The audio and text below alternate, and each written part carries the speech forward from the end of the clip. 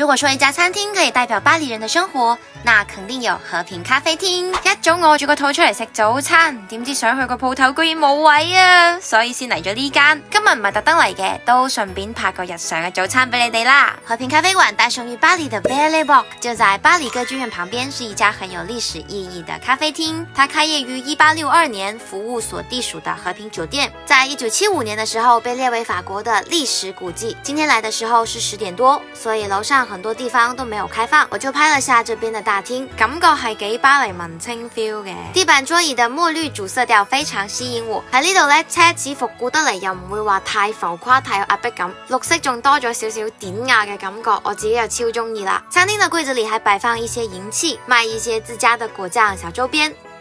噔噔，发现可爱的小熊。今日天气好，就坐咗喺外边睇下有咩食先。有一些套餐，散点的面包、水果和酸奶。今天就来一份最基础的 Petit Déjeuner a r i s i e n 面包，只有巧克力面包和牛角包可以选，我就选了一个 Croissant。热饮就是选了一杯 Cappuccino，看上还蛮普通的，不过配上这环境，真的很巴黎就对了。随随冰冰赢出来都好有感觉啊！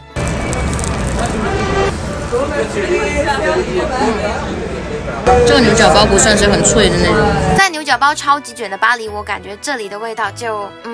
一般般吧，不是我心中的 top，我也不算是非常会喝咖啡的人。这个 cappuccino 也是中规中矩的感觉。这个早餐吃的并不是一种味道，而是一种情怀。如果你把它当成参观历史古迹来看，你肯定觉得非常值，因为你参与它历史的同时，它也参与着你的历史呢。最后今日消费，噔噔，今天又是大满足的一天呢。我们下期再见，拜。